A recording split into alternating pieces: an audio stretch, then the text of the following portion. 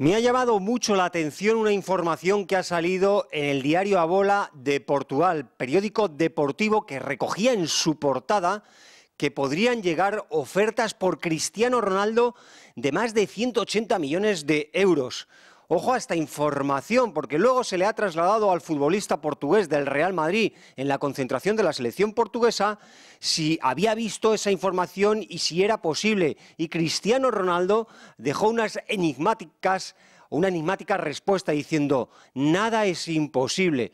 Bueno, ¿qué pasa aquí con Cristiano Ronaldo después de completar una de sus mejores temporadas con el Real Madrid, después de estar en uno de sus mejores momentos en su carrera deportiva?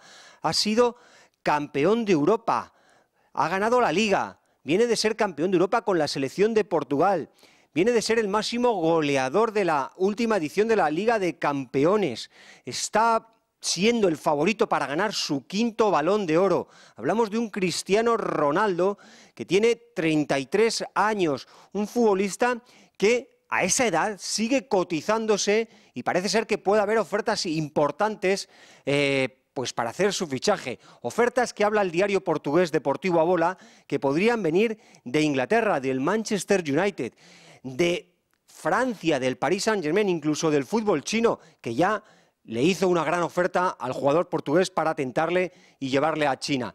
Pero Cristiano Ronaldo se sigue cotizando y eso es muy llamativo. ¿Debería el Real Madrid vender a Cristiano Ronaldo? ¿Debería plantearse el club blanco Florentino Pérez estudiar una oferta de 180 millones de euros si realmente llega a las oficinas del club? Mi respuesta es que hoy no. Parecía que hace un año, hace año y medio atrás, Cristiano Ronaldo debería ser vendido si llegaba una oferta de 100 millones de euros. Se habló incluso, se abrió ese debate.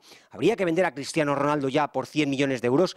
¿Ha dado todo lo que tenía que dar Cristiano Ronaldo? Pues se demostró que no, que Cristiano Ronaldo todavía sigue dando mucho, que es un goleador, que Zidane le ha recuperado y ha sabido gestionar sus minutos, juega los minutos de calidad, no los de cantidad, y que, sigue siendo decisivo en el Real Madrid y con su selección. Decisivo porque ha marcado 10 goles en la fase final de la Champions, entre cuartos, entre semifinales y entre la final.